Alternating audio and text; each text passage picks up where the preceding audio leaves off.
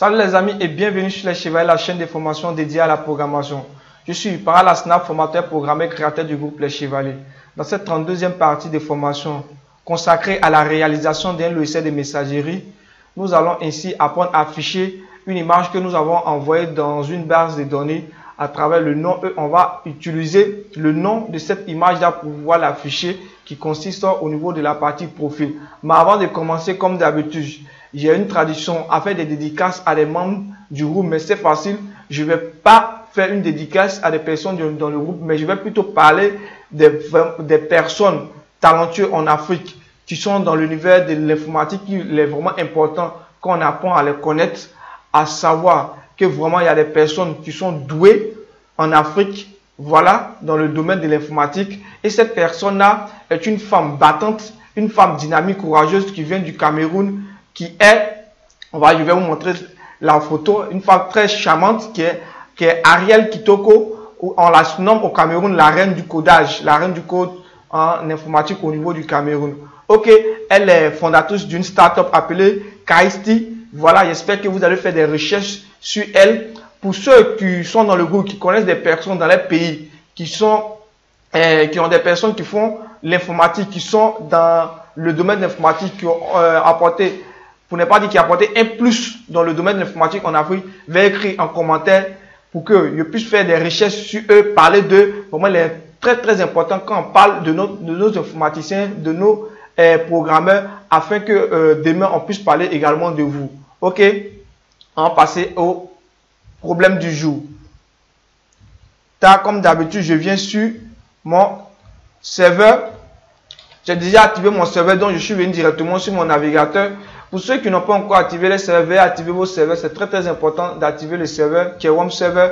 Ok, on s'était arrêté juste sur la partie 31 qui consistait à upload, à télécharger notre fichier qui était une image. Voilà, mais on avait fait un système de contrôle qui était au niveau de la vidéo 21 qui nous permettait ainsi de limiter le nombre de fichiers qu'on aimerait vraiment euh, télécharger le nombre de le type de fichier qu'on aimerait télécharger ici était une image. Ok, on pourrait euh, laisser l'autorisation à l'utilisateur de télécharger n'importe quel type d'image, euh, n'importe quel type de fichier, excusez-moi, mais cela euh, est un inconvénient par contre. Pourquoi? Parce que la personne peut ainsi pirater nos systèmes en, en mettant un virus dans notre base de données. Ok, on avait fait cette partie au niveau de la, vidéo 31 et au niveau de la vidéo 32, on avait téléchargé.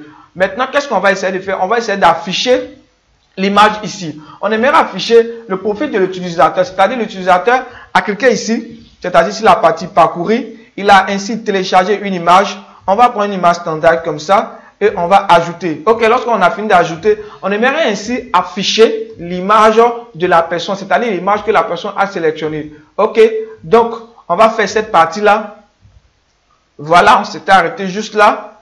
Lorsque on constate au niveau Là, l'image a été téléchargée. Ok, c'est l'image que je viens d'importer tout de suite, que j'ai stocké dans un dossier que j'ai appelé image profil. Ok, donc je viens ici. Maintenant, comme on le sait, au niveau de HTML, l'HTML nous permet d'afficher une image. Ok, donc on va prendre l'HTML, c'est-à-dire le HTML, la, euh, la propriété en HTML qui est image qui nous permet d'afficher une image. On va se servir de ça et on va utiliser le PHP pour pouvoir afficher le type, euh, notre image. Ok, donc, pour afficher une image, comme on le connaît, on fait quoi? On va, je vais créer simplement une classe. Si je ne me trompe pas, j'avais fait ça, mais j'ai dû effacer pour pouvoir répondre cette partie-là pour ne pas... Euh, ta, ta, ta, ta, ta. Donc, j'ai dû gommer quelque chose ici. J'ai dû effacer quelque chose ici. Bon, je vais la mettre rapidement. J'ai effacé un truc ici. Voilà. Qui était classe. Ta, je vais placer ça rapidement parce que j'ai effacé. Je vais placer rapidement cette partie-là. Voilà. OK. Et j'aimerais afficher ainsi mon image en haut. OK. Donc, je vais définir une classe que je vais l'appeler image. OK. Je vais définir une classe que je vais l'appeler image. Donc, je mets une div point my voilà image simplement comme ça image Ok, pour l'instant, je ne vais pas trop traîner sur la partie CSS. Ta petite erreur. Je reviens. Je vais pas trop traîner sur la partie CSS, partie design. Je vais, c'est la partie PHP qui m'intéresse. Voilà, la partie CSS c'est un défi. Je vais vous donner euh, ce défi-là pour que chacun puisse vraiment faire des tests que soit ça beau. C'est-à-dire la partie profil, il affiche l'image avec les différentes informations également du profil. Ce serait quand même en quelque sorte un challenge pour euh, les membres du groupe. Celui qui va réussir, je vais prendre son code source, je vais euh, faire une vidéo dessus, c'est-à-dire je vais me baser sur son code source et faire une vidéo pour parler de son travail qu'il a fait au niveau de ce challenge. Ok? Donc, pour afficher une image, c'est IMG, comme d'habitude. Voilà, IMG, et je tabule. Vous voyez, me dit source. Source, c'est le lien où se trouve mon image. Étant donné que mon image se trouve dans un dossier, donc, je vais mettre le nom du dossier. Mais par contre, ça se trouve pas dans un dossier. Vous ne mettez pas le nom du dossier. Moi, ça se trouve dans un dossier qui est ainsi euh, image, ensuite profil, voilà, que j'ai déjà créé. Ensuite, slash, suivi du nom de votre image. Ok, moi, je vais prendre, par exemple, une image comme ça, que je vais appeler ça profil. Ta, ta, ta, je viens, je colle ici. Je vais regarder l'extension. Pour regarder l'extension de votre image que vous avez importée, vous venez simplement faire clic droit, clic droit, clic droit, excusez-moi, propriété. Ensuite, vous allez voir, ils ont mis PNG. OK Moi, le titre de mon image, c'est un PNG. Le nom de mon image qui est profil. Donc, j'écris profil. PNG. J'espère que PNG. J'espère que j'ai bien écrit. Voilà PNG.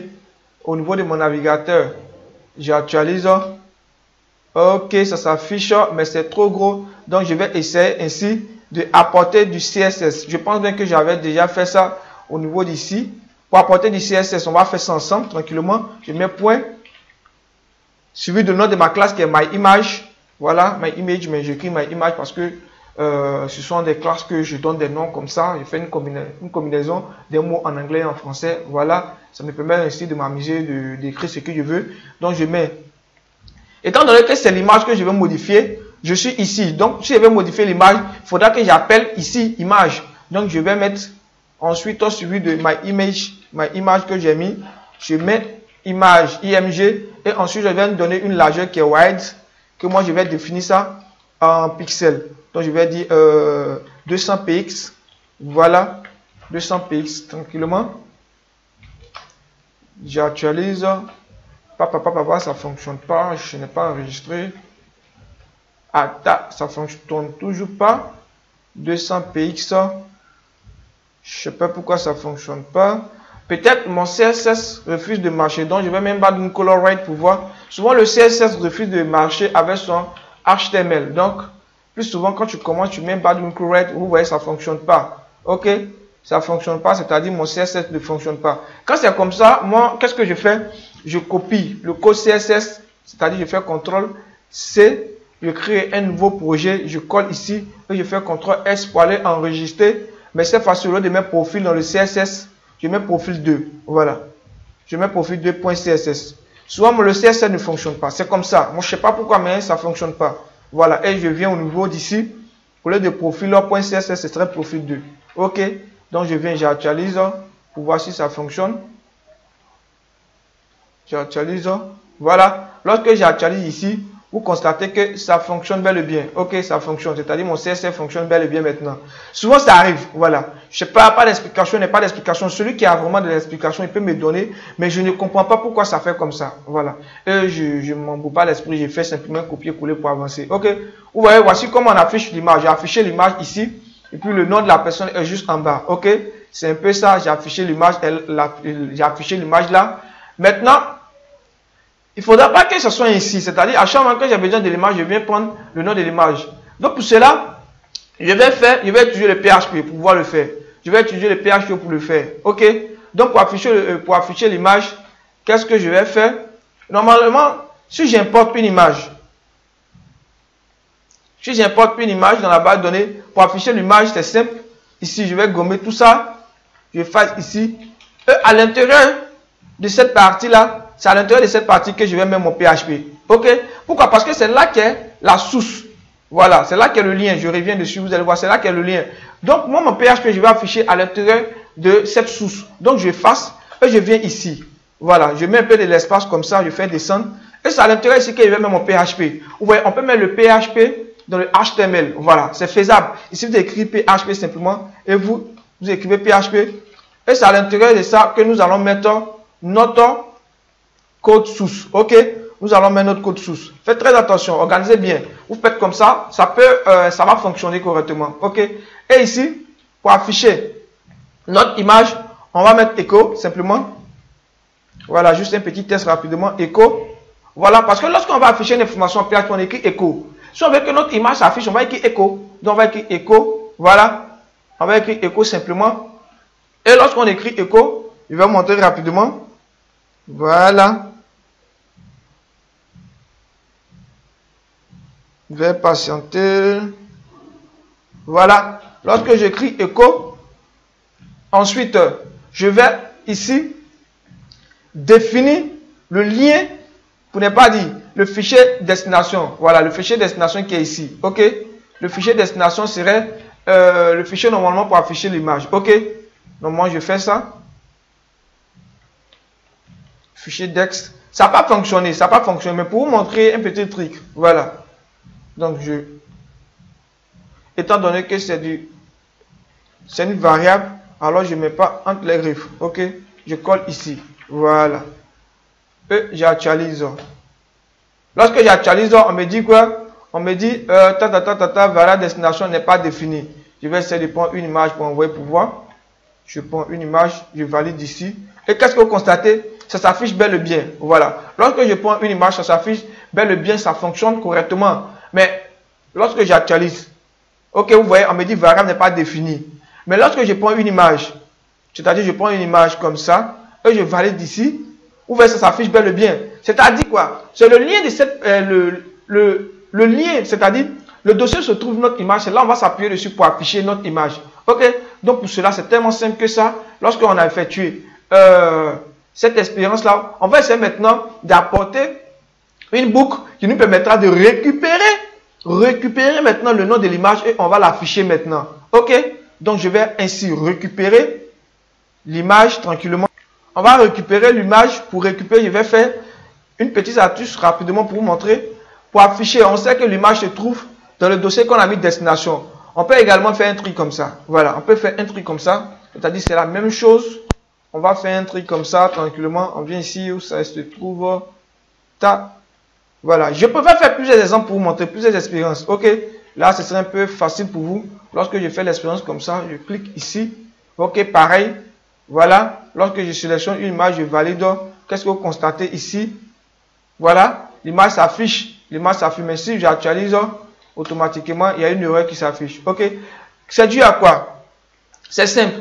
C'est euh, l'image, c'est le lien de l'image que je m'appuie dessus pour afficher l'image. Donc, il faudra que j'arrive à utiliser, j'arrive à euh, faire une requête pour pouvoir sélectionner le nom de l'image. Donc, c'est ça que je vais faire. En fait, quand je viens au niveau de ma base de données, je vais actualiser ma base de données, vous montrer. Voilà. Je patiente. Mon ordinateur est un peu lent ces temps-ci. Lorsque je viens au niveau de ma base de données, Qu'est-ce que vous voyez On ne voit pas l'image ici, mais on voit plutôt le nom de l'image. Ok On voit le nom de l'image, c'est affiché ici. Ok Donc moi, c'est ce que moi j'aimerais faire. Je vais ici m'appuyer sur le nom de l'image pour afficher l'image. Ok Je vais m'appuyer dessus pour afficher l'image. Donc ainsi, c'est tellement simple que ça. Je vais faire une requête qui nous permet d'aller prendre le nom de l'image dans la base de données et venir stocker ça dans... Venir stocker. Lorsque vous vous rappelez, pour aller sélectionner le nom pour aller sélectionner quelque chose dans la base de données, on utilise select from et ensuite on définit le nom de la table. Nous, notre table, ce ne serait pas utilisateur, mais ce serait plutôt user. Et on va sélectionner en fonction du numéro de téléphone. C'est-à-dire, euh, va sélectionner l'image dont le numéro de téléphone est 57 00 0057. Ok C'est cette image-là qu'on va venir afficher. Donc, on va sélectionner en fonction du numéro de téléphone. Raison pour laquelle, lorsqu'on avait créé la table image qui est ici, je reviens là, on avait mis le numéro de téléphone. C'est-à-dire que lorsque le numéro de téléphone est 30 00003, tu viens prendre cette partie-là et tu affiches le nom de l'image qui correspond au numéro de téléphone qui est là. Ok C'est pareil, c'est ce qu'on va faire. Voilà. C'est simplement une requête qui nous permet de faire ça. Donc, on va faire une autre requête encore juste là.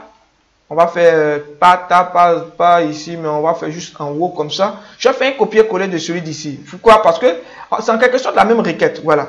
Mais c'est simplement la table qui va changer. Donc ici, requête d'affichage d'une image. Non, ici je mets requête d'affichage des informations. Voilà, c'est plutôt d'affichage, d'affichage. Voilà, je mets d'une image. Ok, voilà. Tranquillement quoi.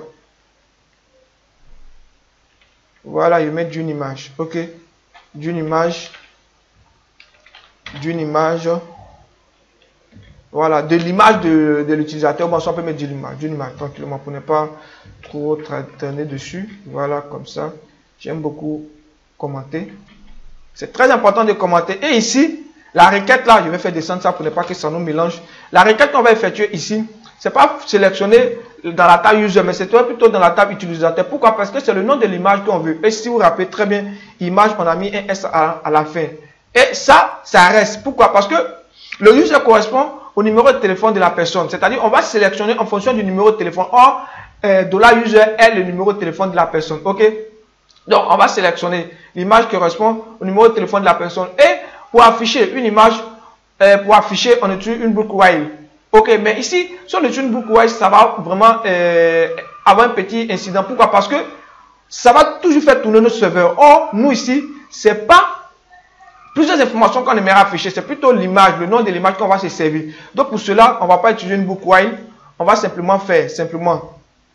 On va faire textuellement comme ce qu'on a fait ici. C'est-à-dire, on va faire comme ça. Voilà. On va faire une, un fetch. Simplement un fetch. Voilà, on va faire un fetch comme ça. Et ici, on va mettre user. Voilà. On va mettre euh, user on va mettre photo. Voilà. Je vais mettre photo simplement. Photo user. Bon, photo user. Voilà. User photo. OK? On va mettre user photo tranquillement. User photo. OK? Bon, photo. Je vais mettre photo pour ne pas trop euh, me tromper après pour savoir photo. OK? Donc, je laisse comme ça. Qu'est-ce que j'avais mis au niveau des différentes déclarations des variables? OK. Il va mettre photo. Je vais laisser comme ça. C'est où je modifie ces photos. Et ici, également, je mets photo. Ici, je mets photo. Mais un, S à la fin, comme j'ai tendance à le faire. Un S à la fin. Faites très attention. Ici, un point, un virgule. Si vous n'êtes pas de point virgule, ça ne pas fonctionner. Ça risque de ne pas fonctionner.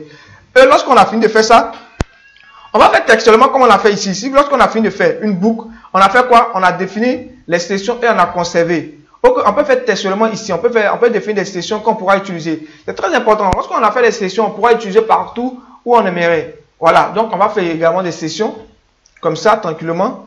Donc je fais un copier-coller rapidement de ça. Voilà, je fais un copier-coller pour avancer plus vite, ok? Donc je fais une session et ici je mets user photo. Ok, c'est plus user langage, mais user photo, tranquillement. Et ici, au lieu de session, c'est pas session. Pourquoi? Parce que c'est la dernière information qui est ici qu'on conserve. Donc ici, c'est pas plutôt session, c'est plutôt langage. Ok, photo, excusez-moi, photo. Maintenant, ici, ce n'est pas langage. C'est plutôt la partie qui est ici, dans notre truc qu'on va utiliser, c'est-à-dire la partie photo qu'on va utiliser. Donc, au lieu de mettre ça, je vais mettre photo.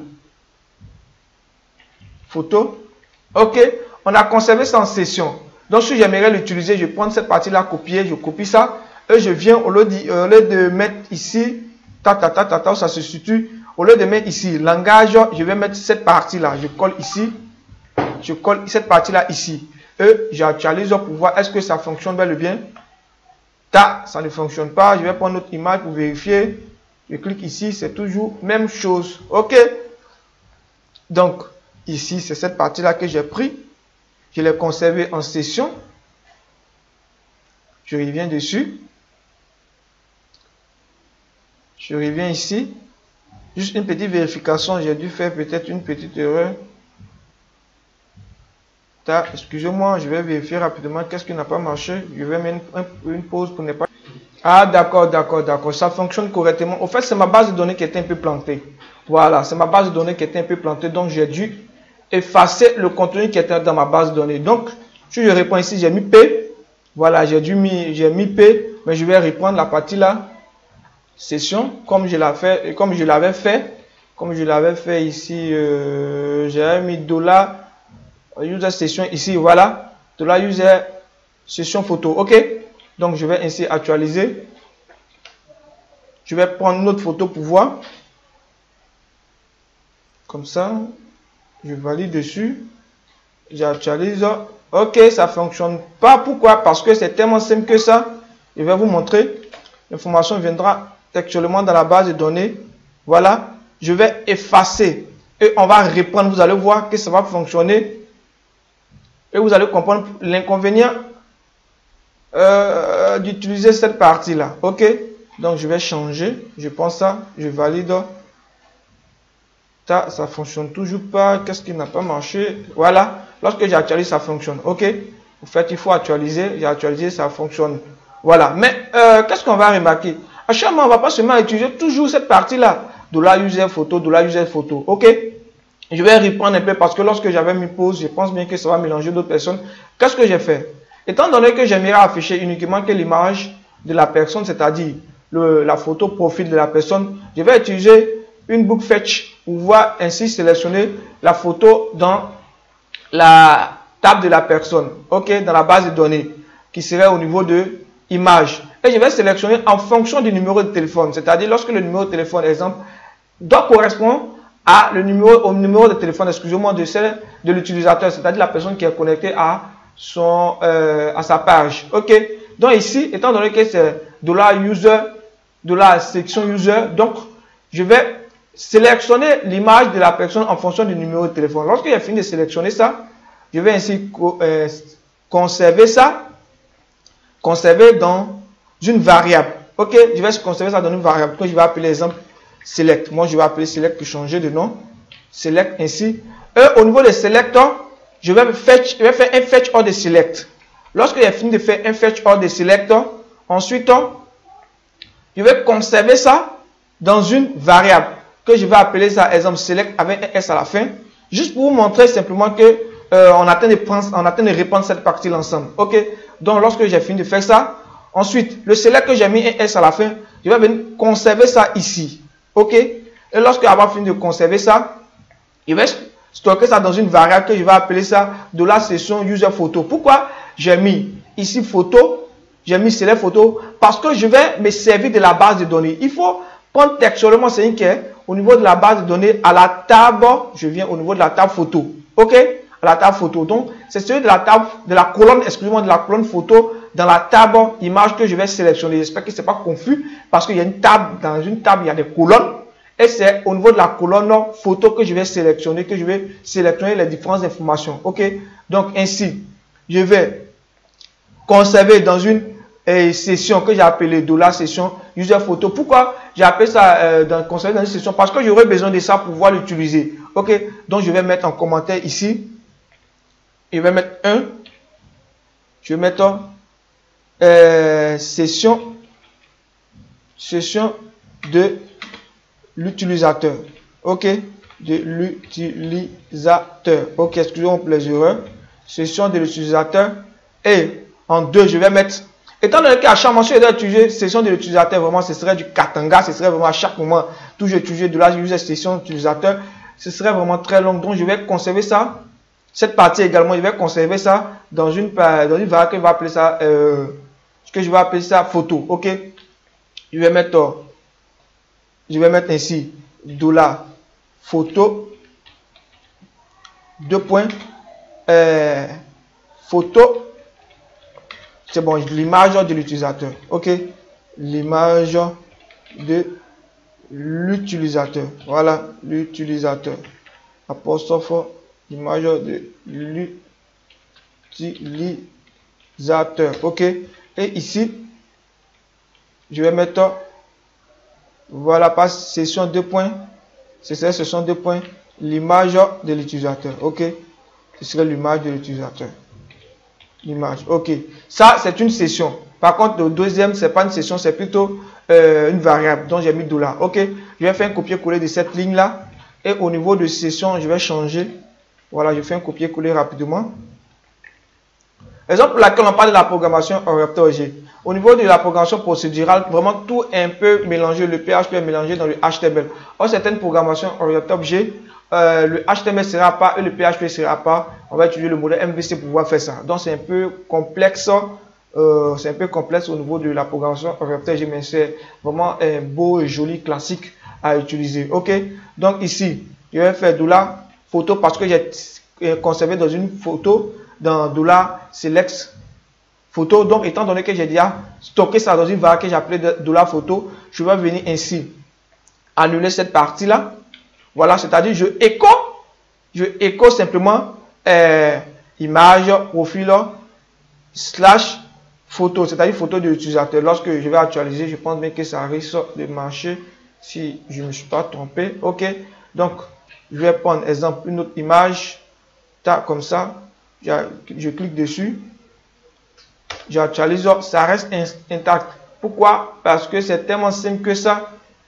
Je vais vous montrer je vais supprimer ça. Je supprime ça. ça. Voilà, je vide ma base de données. Je réponds encore.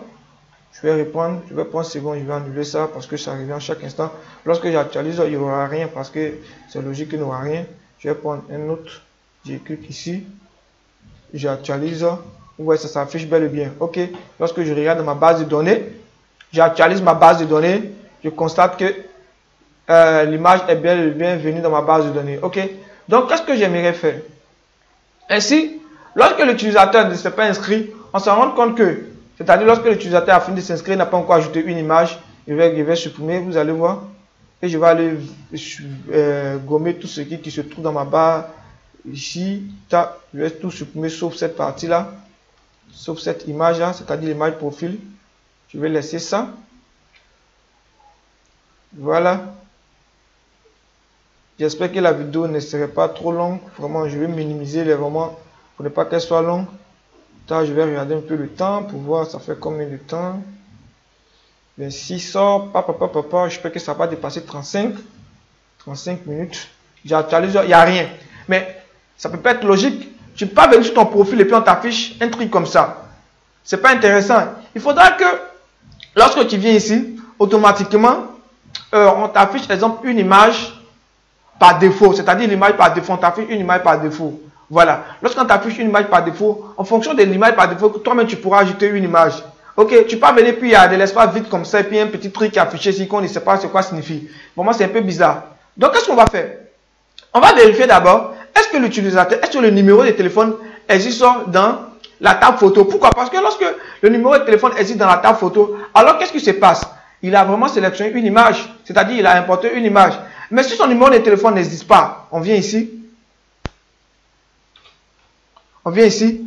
Lorsqu'on clique ici, on va prendre une photo. On va prendre une photo standard comme ça, comme je, vais le faire. Vous allez voir. Je vais prendre ça. J'actualise.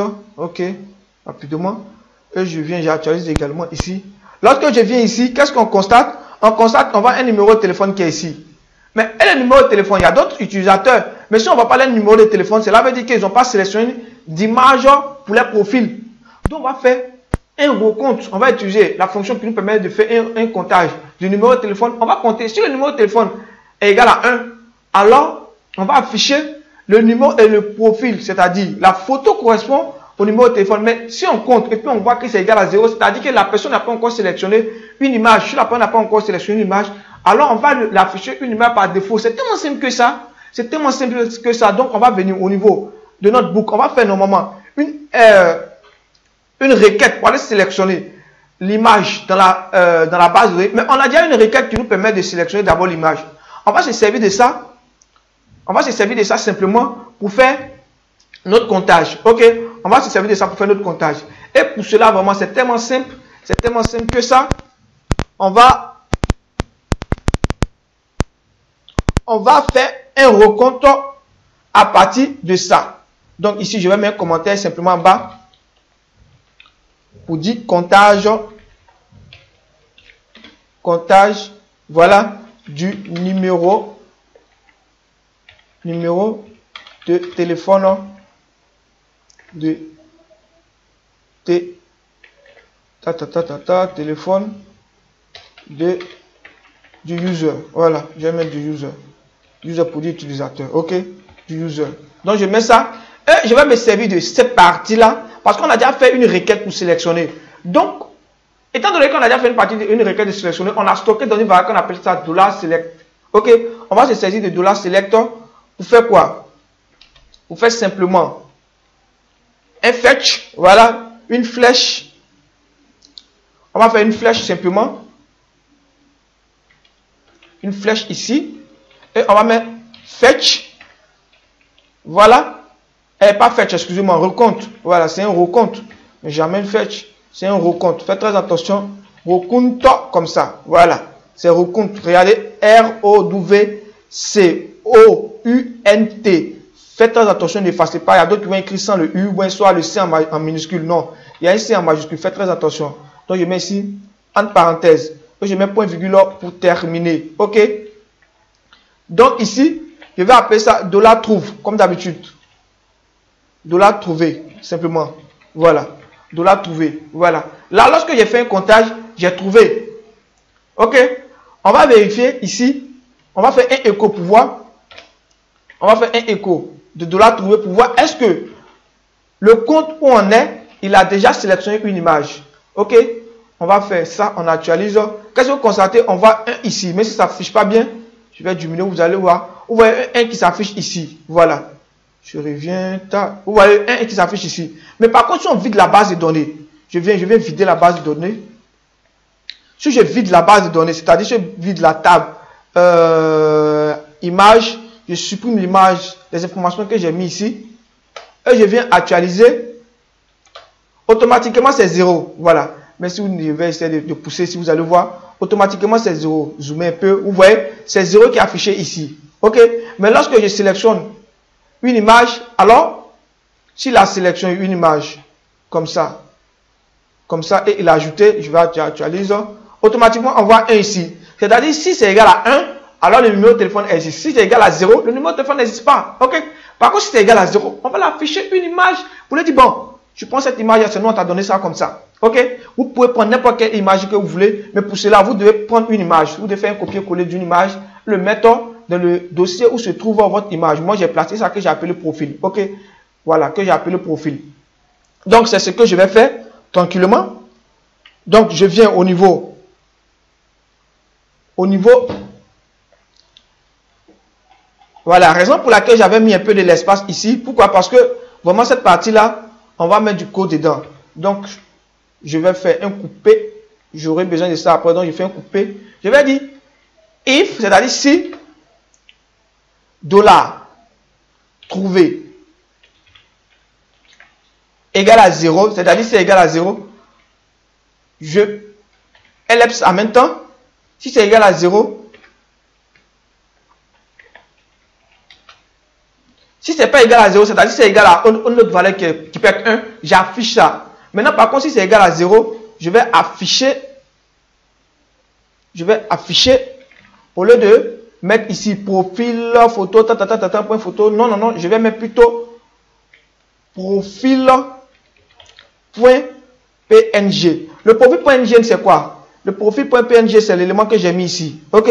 Faites attention, ce n'est pas une concaténation. Ici, c'est une variable, raison pour laquelle on a concaténé. Mais ici, ce n'est pas une concaténation. Donc, je mets ça à l'intérieur ici parce que je connais le nom de l'image que je vais afficher qui serait profil.png. Mais par contre, ici, ce n'est pas la même chose. Donc, ici, je vais faire une concaténation. En mettant ici, je mets une concaténation alors pour afficher avec euh, le euh, point euh, de la photo. Faites très attention, faites très attention. Donc, lorsque je viens ici, j'actualise je me rends compte que ça fonctionne, je vais réduire.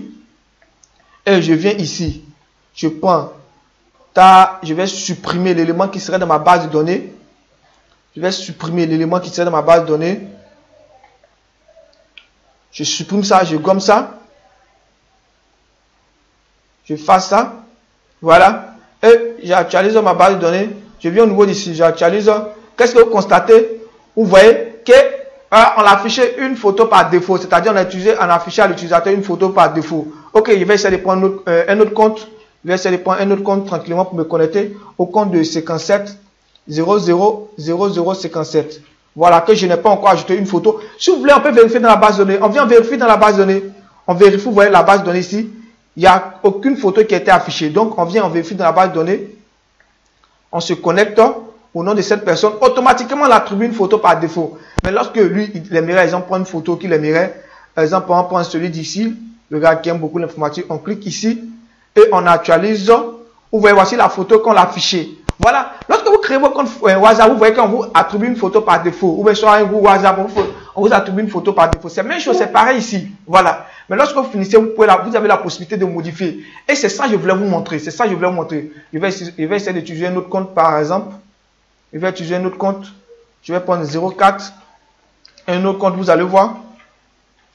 Voilà. Je valide ici.